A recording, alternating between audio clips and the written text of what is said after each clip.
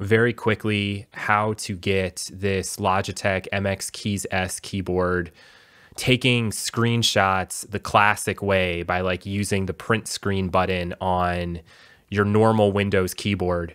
So this doesn't have that. It has that little snip tool feature and that is going to use the the snip tool thing. It's not going to save it in your screenshots folder the way that you might be accustomed to or the way I'm accustomed to.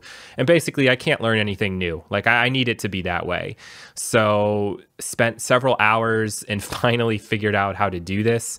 So the best way to kind of go about this is to bring up your on-screen keyboard like this, and I am on Windows 10 for reference. And you'll see this one does have a print screen button here. Then bring up your Logitech Options Plus.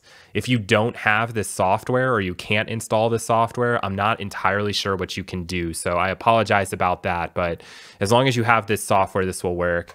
Come into the keyboard, choose that snippet tool if that's the key that you want to customize.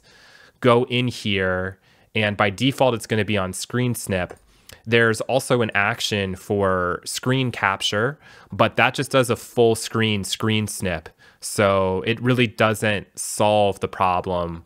But what you can do instead is go keyboard shortcut, go ahead and click on the start button, which will be like the Windows button, and then just come in here and click print screen, and you're done. And now that's going to allow me with one click to take a screenshot. So I'll go ahead and I'll hit that. I'm going to hit this button up here um, on my actual keyboard. Okay, I just hit it. And now we could go into our screenshots folder and we can see that it's taken that screenshot.